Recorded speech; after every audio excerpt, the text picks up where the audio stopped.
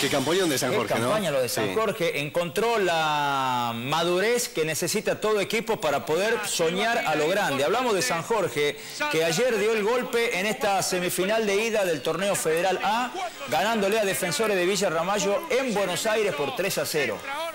Dándole un cachetazo tremendo a este equipo, eh, donde se emparejaban las cargas, pero San Jorge aprovechó muy bien las ocasiones, se paró bien en la cancha, tuvo un arquero seguro como Nicolás Carrizo y la cuota goleadora que necesita todo equipo, como este Martín chico Peralta. Martín Peralta, que está a préstamo de Atlético Tucumán y que aprovechó las que tuvo y las mandó a guardar. ¿eh? Aquí está el primero, le pegó muy fuerte Alejandro Pérez, el arquero dio un rebote de Oliveira y con mucha rapidez, con mucha lucidez y olfato de gol, Martín Peralta marcó el 1 a 0. Segundo tiempo, ese tiro cruzado fue un pase, le quisieron dar la pelota a Tapia, da toda la impresión de que lo buscaron a Tapia, A ver. que acostumbra a meterse en el área, hacer las diagonales y acá fusila al arquero de Oliveira y marca, porque fíjate cómo controla la Hay que pelota. bajarla así también. La bajó muy bien, tenía mucha potencia. Era el 2 a 0. Ricky Tapia vuelve a estar presente en el marcador.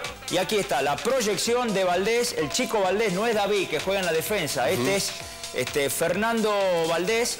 Marcó de esta manera a través de Peralta el 3 a 0. Gran triunfo de San Jorge que acaricia Bien la ahí. final. Espera ahora por Sarmiento Alvarado, ¿no? Sí, pero hay que jugar la revancha primero. Claro, claro, bueno, ya está. Ojalá se le pueda dar. Terceira!